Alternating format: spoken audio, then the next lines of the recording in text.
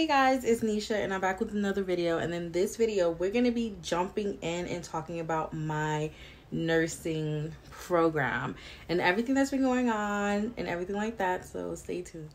So if you watched any videos on my channel, you know like I've never done a mukbang before and I'm super excited. So we got Raising Cane's. They just opened up two locations. If you don't know, I'm in New Mexico. They just opened up two locations and I'm super excited. So I got a Dr. Pepper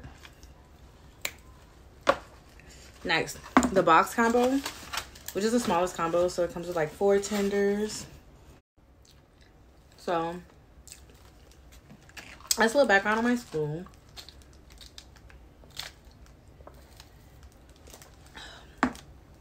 I am going to end up putting a vlog up soon. I did film one. It's so, I don't know what I said, but I don't regret it. I think it was like a really good decision for me to do.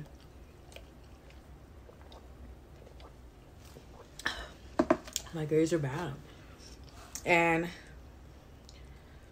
I couldn't risk that happening in this semester because this is the semester that you start clinicals in. Or this semester I'm starting clinicals in. I start my clinicals in like a month, a month from now. And all the assignments and homework and stuff that we've been having, I can only imagine how behind I would be if I was working.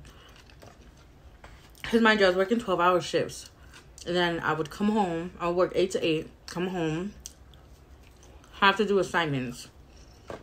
Okay, and then we was in person already. So I had to do assignments and then work up and then have to go to class. On the days I was off. Okay. It was just, the schedule was just inconvenient. The job was so much stress in the end. And because this is something that I really want to do, I can't let a job get in the way of my dream. You know what I mean? I love the job. I learned so much on the job. And because when I was working at the urgent care, that was letting me do everything, I learned like a lot, you know? And I'm thankful for that, but mm-mm. mm-mm. Mm-mm. Sometimes you have to make hard life decisions and sacrifices. And although it doesn't, sometimes it doesn't feel like I made a good, sometimes it doesn't um feel like I made a good decision, but I'm glad I did. And my grades are thanking me because yesterday we had a random sim lab that they waited till Monday to tell us about. And I had a job. My job was so short staffed all the time. I wouldn't even have been able to call out.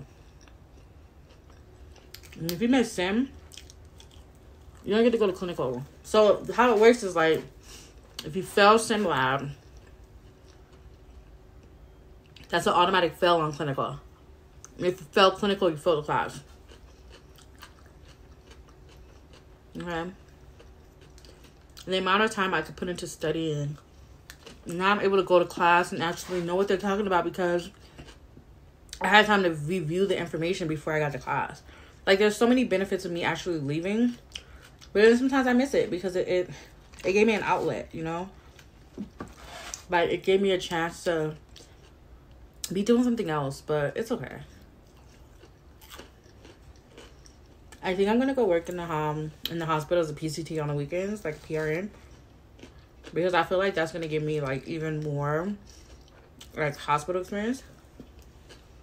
And to anybody that wants to become a uh, like a CMA, I want to give some advice on that too. I'll probably make a video about that on how to become a CMA,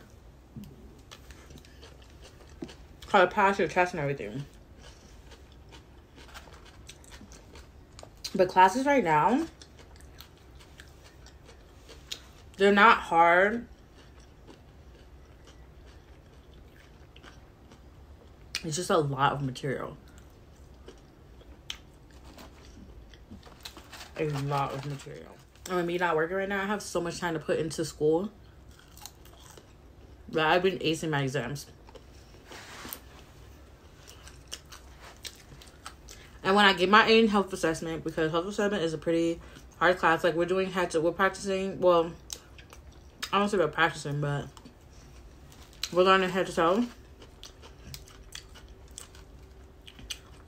And in my mind, I was like, I've seen people do head to toes in the urgent care all the time. Like, I know what I'm doing. Watching that paper, honey. And started talking about telling the patient to do, like, doing all the cranial nerves. I was like, okay. But I wonder if I'm gonna have to tell them, like, what cranial nerve. But I was talking to my professor today for health assessment, and she was like, I asked her, I was like, if you forget a cranial nerve, like, are you fall? She was like, no. as long as you can prove that you somewhat know what you're doing and you get the gist of it, you're gonna be fine. So I feel so much better about it because I felt like the way everybody was making it seem, it was just like, you're just gonna fail, you're gonna fail, you're gonna fail. But I feel like if you just can prove that you somewhat know what you're doing and you're confident. Let me tell you something. Confidence goes a long way. Because during one of my checkoffs, the doctor was all, well, not the doctor, the teacher was like, and what would you tell the patient about the medication? Like, how long would it kick in? I was like, 15 to 20 minutes. the way I said it with a straight face, like, on with my chest, she was like, you almost convinced me. she was like, you're way too convincing. Like, baby, I don't know, but I don't want you to know I don't know. but yeah. Y'all. Nursing school is so cool. But let me talk to y'all about some health. Okay. That's a clear separation in my classroom. On the other side of class, I don't want to say these hoes be loud because it's mostly this boy. But when I tell you, you can hear that man down the hallway. Now, today we have an exam in Juro, which is the first class of the day. So I have Juro, health assessment. A Juro, today's just lecture day, so I had a Juro lecture, health assessment lecture, fundamentals lecture. We had an exam Juro, first class today. She got some time to study in the class too. Like she's not that bad of a teacher. She's just a little like I'm trying to read her. And I've been in her class for a month now and I cannot read this lady. Like I don't know. Like she be off like I don't know. I can't read her. But she doesn't seem like a bad person. Like she's never been mean to me or anything like that. I've seen her, you know, snap at people, but I don't know. But you can hear that man down the hallway. Okay. I went to the classroom. I don't know if it ran on my face. Like, I was irritated. Because it is 8 o'clock in the morning.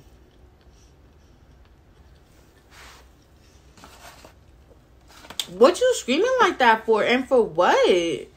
The person you're talking to is right there. Like, y'all want to be loud and the life of the party so bad. Like, we are not here for this. This is not high school. Everybody in this class is old, y'all. Like, it's perfectly okay to want to have a good time in class. Of course. Okay? But all day, every day, you're sick in the head. Because the way I was trying to stay for this, like, you view my notes, and all I hear is this man cackling. I don't know, like I said, I don't know if it's looking at my face, but he was like, Oh, let me be quiet. I never told him off for nothing, but it's too early. Shut up.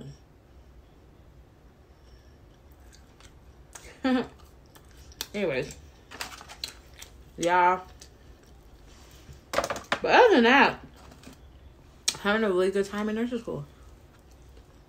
A little stressed because it's not easy. But I found that being more positive about the situation makes you feel a lot better about the situation, right? Your outlook on the situation, your outlook on nursing school, you're making nursing school the way that needs to be for you. You know what I mean? That's how I'm looking at it. You're making nursing school the way that you want to make it for you. You have to shape it for you. You know? And I'm I'm taking that. Mind you, I didn't hear that for nobody. Okay. I'm making this, okay? You have to make nursing school what you need it to be and how you need it to be for you. Okay, you only gonna get the grade that you allow yourself to get. Oh, let's teach you mess up on the test. Which is rare. Want an A? Yeah, work for that. Yes, guys. I hope you enjoyed my little mukbang. And if you say anything about my baby doll eye, you're anti-black. no, for real. So I'll see you guys in the next one. Bye, beauties.